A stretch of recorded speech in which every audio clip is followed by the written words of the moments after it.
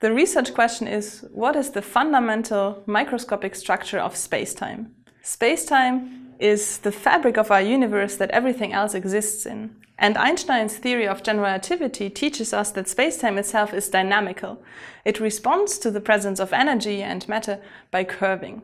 And one of the key predictions of general relativity is if you have two massive astrophysical bodies, for instance neutron stars, that orbit each other, this system will emit ripples in spacetime, so-called gravitational waves. An analogy that you can think of for this process is if you have two powerboats on the ocean which circle each other, they will create surface waves on the ocean.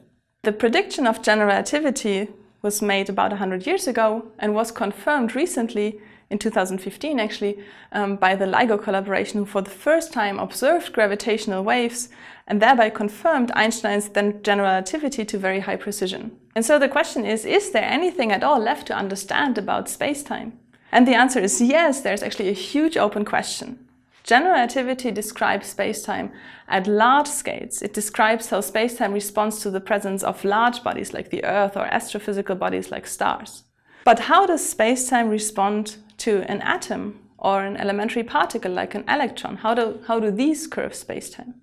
For these systems, quantum physics becomes important. Therefore, for instance, an electron can be in this very weird superposition state, in a quantum superposition of being in two places at the same time. And space-time has to respond to that and has to also undergo quantum effects. It has to go into a quantum superposition.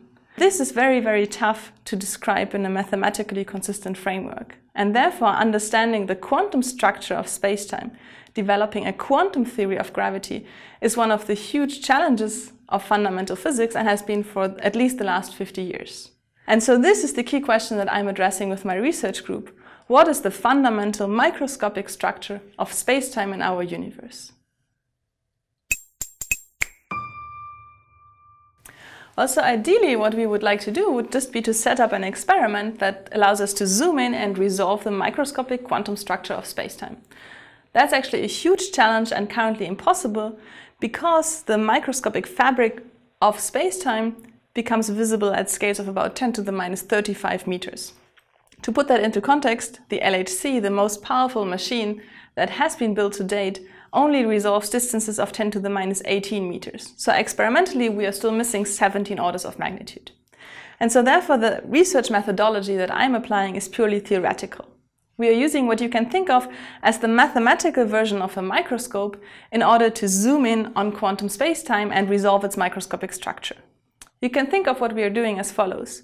We are starting from a microscopic description that takes into account quantum fluctuations of spacetime in the vacuum. From this microscopic description, we average over larger and larger patches to arrive at an effective description that blurs the microscopic details. This is like zooming out, decreasing the zoom factor with a microscope. And in this way, using our mathematical microscope, the renormalization group, we can zoom in and zoom out of our picture of spacetime. One of the key findings that several research groups around the world have contributed to is the discovery of a regime where as you zoom in further, space-time becomes scale invariant. Scale invariant simply means that as you zoom in further, the picture doesn't change anymore. This allows you then to zoom into arbitrarily small distances and understand what the true microstructure is. You can think of this scale invariant regime as similar to um, a mathematical object called a fractal. Um, a fractal is an object that is self-similar, so this means as you zoom in, you still see the same picture. If you want a real-life example, you can think, for instance, of a broccoli. For a broccoli, the whole vegetable and one of its smaller parts, if you break it off, look exactly the same. For a true mathematical fra fractal, that continues, so you can zoom in further and further. So this is the picture of space-time in asymptotically safe quantum gravity. It's scale invariant beyond a certain minimal scale. Now, the key new ingredient that I'm adding with my research group can be captured by the slogan Matter Matters. So matter already plays a huge role in shaping the dynamics and the structure of spacetime at large scales. And so what we are arguing, what we are convinced of, is that in particular quantum fluctuations of all of the elementary particles play a huge role in shaping the structure and dynamics of quantum spacetime. And so we are arguing that zooming in on a description of pure quantum spacetime will actually not help us to understand the quantum structure of spacetime in our universe. Instead, what we should be doing is zooming in on a joint description of quantum spacetime and matter. And so this is the methodology that I'm applying with my research group. We are considering joint descriptions of quantum spacetime and matter by elementary particles, and we use our mathematical microscope, the renormalization group, to zoom in and search for an asymptotically safe scale invariant regime that provides a microscopic description of all of the fundamental building blocks of our universe. I would like to highlight two key findings. They have to do with the fact that the interplay of quantum gravity with matter actually has two sides. One is the impact of matter on the quantum structure of spacetime, and the other is the effect of quantum gravity on matter.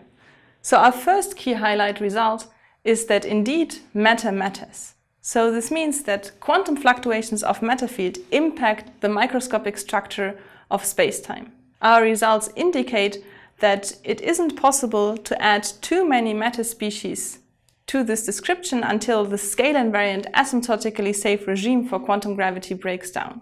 On the other hand, our results suggest that you can add all of the observed species of matter and still arrive at such an asymptotically safe description.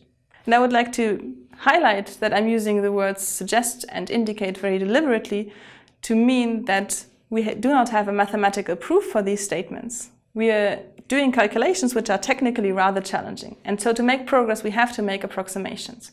And so our results hold under these approximations that we are making. And of course, we can step by step improve on them, but the results at the moment are still achieved with insignificant approximations.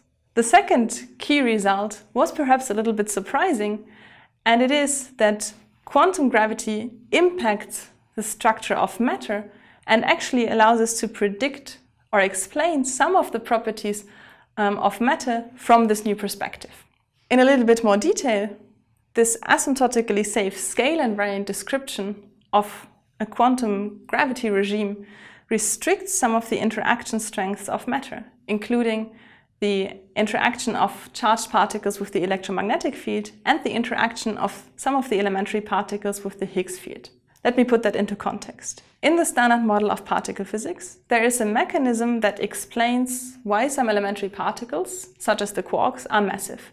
They are massive because they interact with the Higgs field, and the stronger they interact, the more massive they become.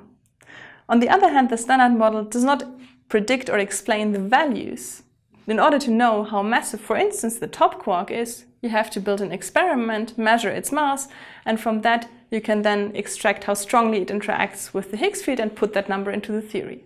And now our results on asymptotically safe gravity and matter indicate that that actually changes within our picture. And that in order to achieve such a scale invariant asymptotically safe description, the interaction strength of the top quark with the Higgs is actually restricted to one very particular value. Within our calculations that, as I said, are done within approximations, we are then calculating the mass of the top quark from first principles, and we are getting a value that is surprisingly close to the experimental one.